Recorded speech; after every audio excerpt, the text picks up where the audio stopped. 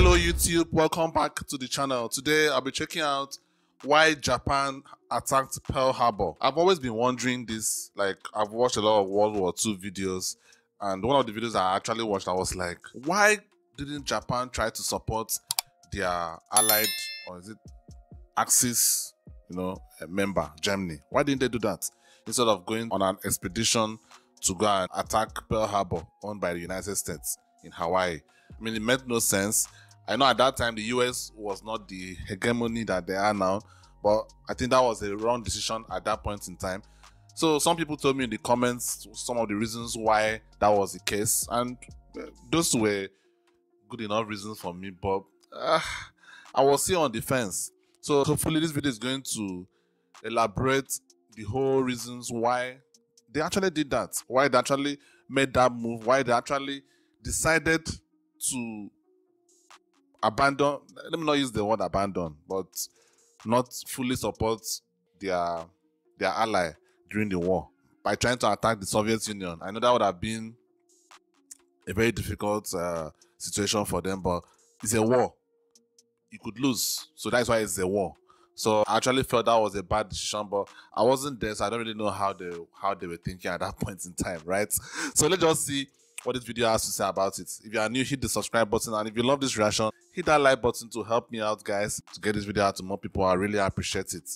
Let's get right into it. On the 26th of November 1941, a Japanese attack fleet consisting of six aircraft carriers, two battleships, and hundreds of aircraft departed from Japan and began the long journey to an assembly point 230 miles north of the Hawaiian island of Oahu. Their target? The US Pacific Fleet, anchored at Pearl Harbor. Scheduled for the 7th of December, the attack would take the Americans by complete surprise, paralysing their fleet for months and costing thousands of lives. However, the attack would also change the course of the Second World War and spell ultimate doom for Imperial Japan. So why did the Japanese attack Pearl Harbor in the first place? And how did Japanese miscalculation in planning the attack doom them to defeat in the Second World War? Well, to answer that question, we first need to go back to the 1930s. So Japan had spent much of the early 20th century uh, modernizing its economy and its military. So basically, they wanted to build an empire, uh, sort of like that of Great Britain and the United States. And from that, they could extract natural resources, um, exploit labor, and build new trade routes, uh, and become one yeah. of the world's great powers. But while Japan had big ambitions, there was one huge problem the Japanese mainland did not have the natural resources required to build that empire. Japan needed to get its hands on more coal, iron, and in particular oil to make its ambitions. And that is true. Japan is probably one of the most barren lands in the whole world, at least from what I know. Probably one of the most barren lands. Like, there's literally nothing there. Or is there? If there's anything in Japan, guys, tell me down in the comments because the, the last time I looked at a, natural resource map, Japan was basically like barren, like nothing there. So maybe there are some things that are available. Like some of these countries that don't have natural resources, I actually feel sorry for them sometimes. Most especially countries like Japan that have this ambition, have this ambition to make their countries to be what they are. Like Japan is a great country currently, like highly developed. Everything that you will want in a first world country is in Japan. So not having resources was always going to be difficult. And also part of the reason why the Europeans had to leave their continent to go out to other uh, continents. If not, they would have had an issue. That is why the US is so unique when it comes to imperialism. Like other countries that have resources like that, most of them are kind of poor. For example, in Africa, that have all these resources but are poor as fuck. In the Middle East, yeah, in the Middle East, life is good for the main citizens, like the indigenous people, but uh, for other people, not so great. So the US is like the only country that actually has imperialistic ambitions, but also has the resources to back it up. So the, so they want to be imperialists, so they can also go out there and cause havoc like other people used to do. But they also have their resources. Like they could actually stay in their country and do what they want to do the, I, I, think that's that's why US and Russia is kind of unique because Russia also has resources as well. US also has resources. These two countries can just sit down there and like, okay, yeah, it's not ideal, but they could actually sit there and be individualistic and not care about the the outside world, and they'll be fine. At least from the resources I saw, maybe the other things that you need. At the end of the day, each country will always need we need each other. That one is for sure. Will never stop. But when you have these resources, you have bigger, higher leverage when it comes to trade. Iron, and in particular oil, to make its ambitions a reality. It was 1931 when Japan took its first major step towards empire building, invading the Chinese province of Manchuria. Now, Manchuria had many of the resources that Japan needed and gave them a firmer foothold on the Asian continent for future advances. Over the next few years, Japan poked and prodded its way further into northern China before all out war broke out between the two in July 1937.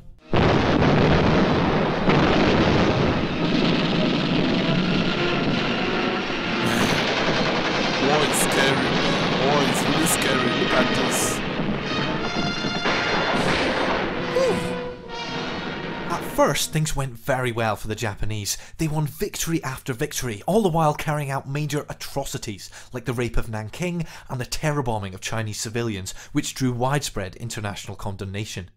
By 1939, though, the war had descended into a stalemate, and as the Chinese grew in strength, the war became a serious drain on Japanese manpower and supplies. To win, they would have to look elsewhere for the resources they needed. Okay. Meanwhile, across the Pacific, the US sense. was looking on with mounting concern.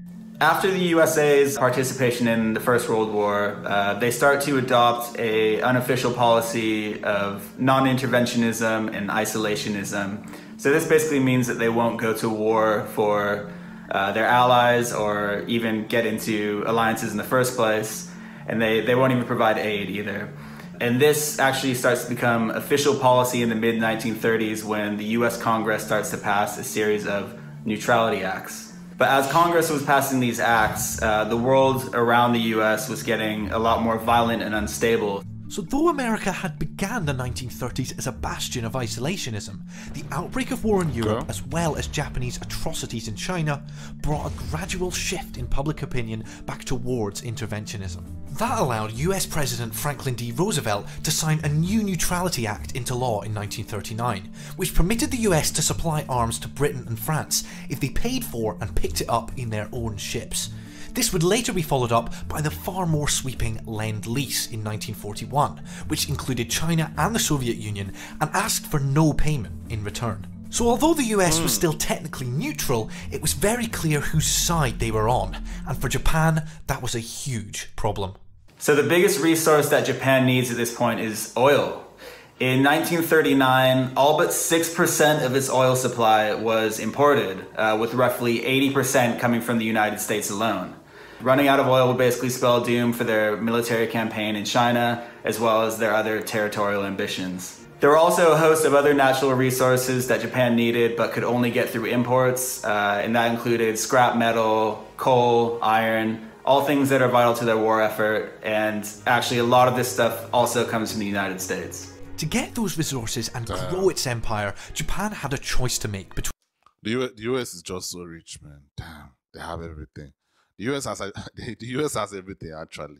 When I looked at that map, that resource map, the US had between everything. what became known as the Northern and Southern strategies. The Northern strategy was backed by the Imperial Japanese Army and involved taking the oil, coal, and iron rich areas in China, Mongolia, and Siberia. The Southern strategy, on the other hand, was backed by the Imperial Japanese Navy and instead involved striking south into British Malaya and the Dutch East Indies, similarly rich in oil and rubber. Hmm. By the mid 1930s, the Northern That's a great strategy, though. Put the army to land, put the navy on water. I mean, that sounds like some cliche statements, but it's actually a good strategy. The Plan was already in full swing with attacks in Manchuria and China, and this had led to border disputes with the Soviets.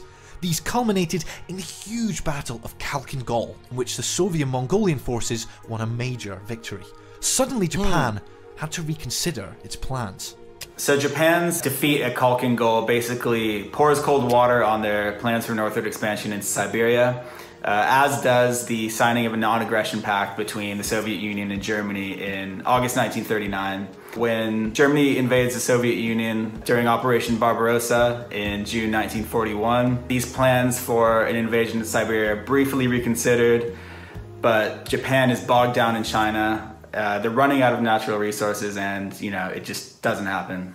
With the army bogged down in China, it was the navy who took up the mantle as Japan focused on its southern strategy instead. This began in earnest in 1940 when, in order to cut a key Chinese supply route, Japan entered the northern parts of French Indochina in an agreement with the Vichy French government. This worked in isolating the Chinese, but the US saw it as yet another act of Japanese aggression that threatened US interests in the Pacific. Coupled with Japan's recent alliance with Nazi Germany and Italy, the US responded by imposing an embargo on iron, steel, and copper, all of which were essential to Japan's war industries and which were largely imported from the US. But the Japanese did not learn their lesson and occupied even more of French and that means the US are putting an, they were putting embargoes on Japan. Like Japan really had no choice if you look at it, because at that point the US, though they didn't declare war overtly, it was clear that they declared war on Japan. Let's if we are being honest, it was clear that they declared war on Japan, almost like a cold war at that point. Indochina in July 1941 as a launch point for invasions further south. This time, the Americans responded even more forcefully. So this time, the US responds by freezing all of Japan's assets in the United States, and this prevents Japan from purchasing oil. And right after this, this is followed up by uh, Britain and the Netherlands, who control the Dutch East Indies, imposing. Sorry, sorry, guys, for pausing too much, but this is the reason why I've never understood why countries have assets in other countries, especially when you have um I don't know, like what happened with Russia and Ukraine, where Russian billionaires' assets or Russian assets were being freezed in Europe. Uh, I mean, I don't think Europe European countries have assets in Russia, do they? I don't think so. I don't think the US have assets in Russia. I don't think so. So why would Russians Russia have assets in Europe? Or is it because of the dollar? I know the dollar is the currency. I think that is part of the reason why the US can't let go of that. They can't let go of the, um, that the petrodollars being the the worldwide um, worldwide currency. I think that is part of the reason why. Because with that, just by having that currency alone being the worldwide accepted currency, it basically makes most countries to have to answer to the United States one way or the other. Get what I'm saying? So I think that's part of the reason why BRICS were considering starting their own currency, which I don't think they'll be able to do. To be honest, I think all this is just blowing smoke. They can't really do it because it's possible, but it's, it's going to be. Uh, it's to me, I will give it like a five percent chance or a ten percent chance that BRICS could come up with their own currency. Because I, ju- I just think the US has carried like controlled the whole world the whole world world economy and the dollar is going to remain the unofficial currency of the world. Oil embargoes of their own so from purchasing oil. And right after this this is followed up by uh, britain and the netherlands who control the dutch east indies imposing oil embargoes of their own. So in one fell swoop Japan loses 94% of its oil supply. Japan was in a crisis.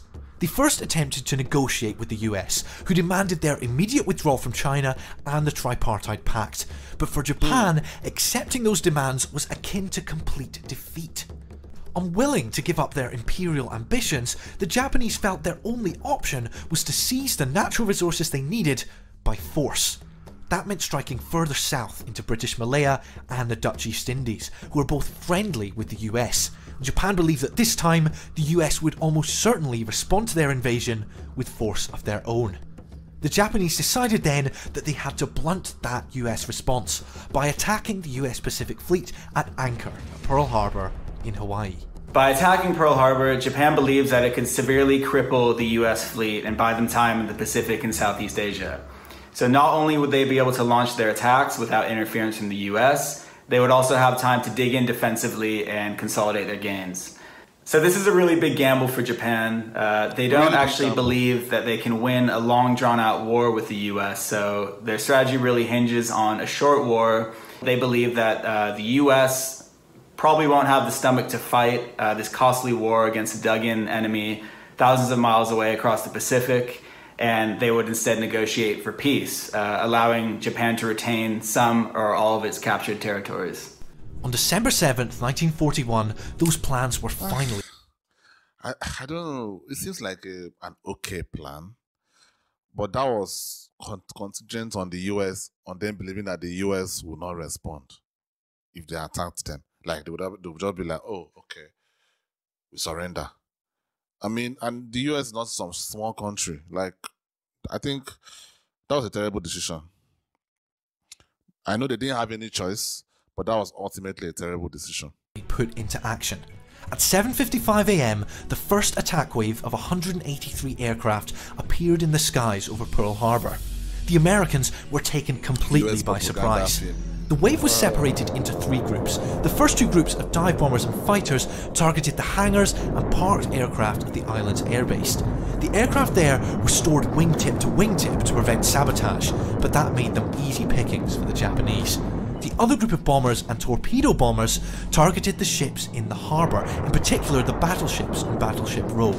The Americans believed that the water was too shallow for a torpedo attack, but the Japanese had created a brand new kind of torpedo specifically designed for the waters of Pearl Harbor, and it had a hmm. devastating effect. Within the first five minutes of the attack, four battleships were hit, including the USS Oklahoma and the USS Arizona, which exploded 10 minutes later, killing 1,175 of its crew. At 8.54, the second attack wave of 170 aircraft began their attack. They were also separated into three groups, attacking mostly the same targets, but with the base now on high alert, their attacks were less successful. In the space of just over an hour, the Japanese had sunk or damaged 18 American warships, including hits to all eight of the fleet's battleships. They destroyed 188 aircraft and severely damaged the base's infrastructure. Crucially, though, the three all important US aircraft carriers were out on maneuvers at the time of the attack and escaped unscathed. Yeah. So, because true. Japan are sort of anticipating this short war that's going to lead to negotiations, uh, their target selection focuses on the battleships, uh, which are going to prevent the U.S. Pacific Fleet from coming out into the Pacific and Southeast Asia and stopping the Japanese. And they're not thinking about things like the fuel depots and the repair shops that are actually going to allow America to pursue a longer uh, war in the Pacific. The shallow depths meant that any ships that sunk, they didn't sink far down, so they were uh, much easier to recover. Almost half of the deaths that day on the US side were from the USS Arizona when it was hit and exploded. Um, and the Imperial War Museum in London actually has a piece of the USS Arizona on display in its new Second World War galleries. And this is actually the first time that part of the USS Arizona has been displayed outside of the United States. Initially, the attack worked perfectly. On the same day, Japanese launched more or less simultaneous attacks in the Pacific and Southeast Asia. Thailand surrendered within hours and quickly signed an alliance with Japan, while the US territories of Guam, Wake Island, and the Philippines watched, yeah, and um, that video I watched, um, mm, Geography Now Thailand. This was mentioned, the Japanese invasion. as well as the British territories of Malaya and Hong Kong, all fell relatively quickly.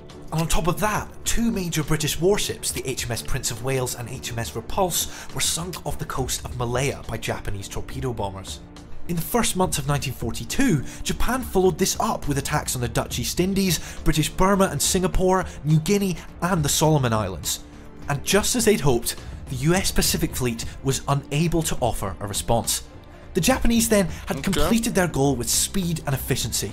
They'd established their new empire and they finally had the natural resources they'd craved for so long. But there was one huge problem. So Japan's attack on Pearl Harbor pretty much has the opposite effect of what it was hoping for. Uh, you remember they were hoping for this negotiated peace. So the day after the attack, President Roosevelt uh, delivers his famous Day of Infamy speech to Congress, in which he asks for a formal declaration of war against Japan, which Congress quickly authorizes. So the U.S. is officially now in the war. The vast resources of the United States, power, raw materials, industrial production, all had to be mobilized to meet the demands of total war. So support for isolationism quickly melts away. There's a rapid expansion of the U.S. military with uh, hundreds of thousands of men volunteering to join, and the economy is fully mobilized onto a. Yeah, I think this period, this period of the U.S. history was depicted in this movie, Hacksaw Ridge. Great movie. I loved the performance by the actor. I've forgotten his name. Excellent movie, where a lot of young Americans were like, you know, trooping to volunteer to fight, you know, against the Japanese that period. That is crazy. Man. War footing. Japan's hopes for a short war uh, completely evaporate, and they've now woken this, what many people call sleeping giant, and they're now committed to this long war in the Pacific and Southeast Asia, which ultimately they'll lose. The Japanese attack at Pearl Harbor was a huge gamble, and one which did not pay off. Japan's desire for an empire and the natural resources to go with it had slowly awoken the US from its isolationism. Bogged down in China and unable to attack the Soviets, the Japanese decision to strike south resulted in a US oil embargo, which gave Japan little choice other than to give up its ambitions or go to war. Their Yeah, decision to fight no paid choice. off in the short term, but once the US had geared up its war machine, for Japan there was little hope of victory. Wow. Wow, this is interesting, man. World War Two. World War Two is the, like the most interesting. War. Almost all the videos I've watched about World War Two is just incredible, man. I know there were a lot of atrocities committed, but the stories are crazy. The stories are interesting. The stories are remarkable. Like there's not much I can say about that. Seriously, it's crazy. But ultimately, when it comes to this, Japan had no choice. They had no fucking choice. They had to do this because at the end of the day, you could you could knock their ambition. You could say, look, why do you want to form an empire? Why don't you just stay where you are? But from what I've noticed in in history, the ones I've learned on this channel and the ones I have read off this channel, most countries that don't have resources in their own land, most people that don't have resources in their own land, they always went out to go and collect from other people that had. That, that, that was just that, that is just human. That is human. That's just human behavior. To be honest with you, I know now we live in this civilized world where everything is peaceful, uh, relatively peaceful, and all that. But make no mistake, if there was no rule of law, rule of all these things that is holding down humans, I'm not sure if you have your own house, someone can just come to your house and kill you, take your wife, kill your children. Like I'm telling you, this is what would happen. To be honest with you, some of these lonely men that don't have wives or haven't had sex for 10 or whatever, how many years, you think they'll just sit down there and suffer through it? I don't think so. I doubt that. So um, that is just uh, unfortunately that is just life. And Japan don't really have resources. Last I checked, their uh, the resource map, Japan is basically barren. So there was, there was nothing that they could do. The US could sit down there in their own in their own country and not even do anything. They have everything there, so it's easy for them to sit down there and do that. But Japan had no choice. Uh so it- this was really interesting. World War II is, was incredible, man. World War II was so incredible. Um, guys, what do you guys think about this? Let me know what you think down in the comments. Um, what do you think? Do you think Japan made the right decision? I think it was the right decision, but a very, very risky one. It was kind of a uh, high risk, high reward situation. It was high risk because they were counting on the United States kind of being like, dude, we don't want to fight, we don't want to fight, just, you know. But there was high reward that came with it. So I think it was a risk worth taking. Yeah, it was a risk worth taking. Sometimes you take the risk and you fail. It's what it is. See you on the next one. Peace.